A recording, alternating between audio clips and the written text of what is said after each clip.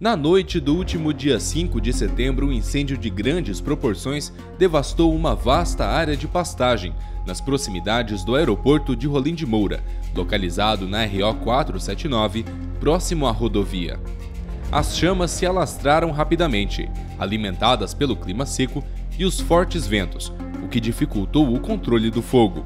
O incêndio chamou a atenção de motoristas que trafegavam pela rodovia sendo visível de longe devido à sua intensidade.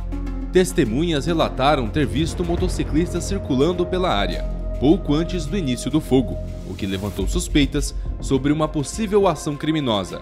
A placa da moto foi registrada encaminhada para a Polícia Militar, que já está investigando o caso. Como é possível verificar, o fogo consumiu grande parte da pastagem as equipes de combate a incêndios foram acionadas.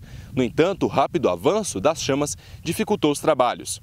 A densa fumaça também gerou transtornos, reduzindo a visibilidade dos motoristas que passavam pela rodovia e gerando preocupações entre os moradores da região. A comunidade local está em alerta, já que a seca prolongada e a alta incidência de queimadas tem sido um problema recorrente, sobrecarregando as equipes de bombeiros e causando prejuízos ambientais.